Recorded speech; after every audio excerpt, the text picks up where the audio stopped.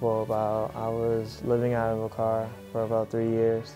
Within those three years, I was still um, playing basketball and going to high school, so-called living the life of a normal high school basketball player and student uh, without anyone knowing. Sports kept me on track. Just a game of basketball was just an outlet to get away from everything else I'm dealing with that I was dealing with at home. So whenever I was frustrated, I would just go play basketball. When I'm not feeling so good, I can play basketball. And even if I'm not playing good, just doing that just made me feel better. And it was just a way to get away. So basketball to me was just everything. It was just everything I knew about, everything that I really cared about.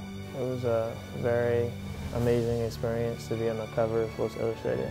Uh, when uh, the issue came out, and I was just in shock. I didn't really believe that he actually used my picture as the cover of it because there were also three other kids that were in the, um, the feature. So it was just very eye-opening and just a blessing.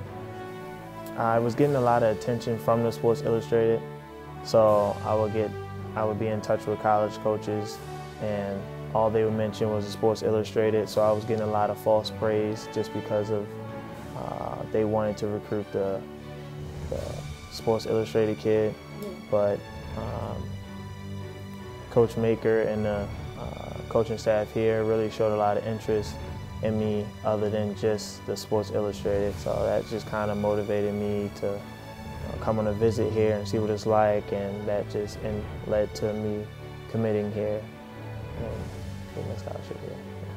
Uh, am um, always the type of person that uh, tried to look at the, the positive side of things. Um, whenever things are going wrong, I always try to see the good in it and never dwell on the negative, the negative things in life. Um, and it's just a blessing, you know. Um,